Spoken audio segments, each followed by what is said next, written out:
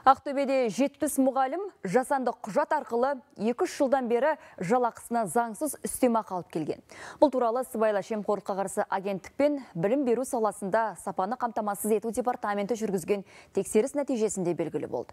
Тағы 53 мұғалімге арнайы тестілеуден өте алмаса да өтті деген жалған анықтама берілген. Заңсыз әрекетке барған педагогтар мемлекетке 100 миллион теңгеден аса қаржыны қайтаруы тиіс.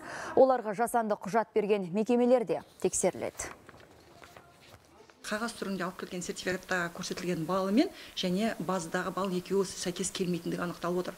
Олардың айырмашылығы тіпті оннан отыз бес баллға дейін барып отыр. Олар заңбұзушылыққа барып отыр ғой. Бұл ретте олардың санаттары педагогке дейін түсіріледі және де бес жыл бойы олар аттестаттаудан өте алмайды.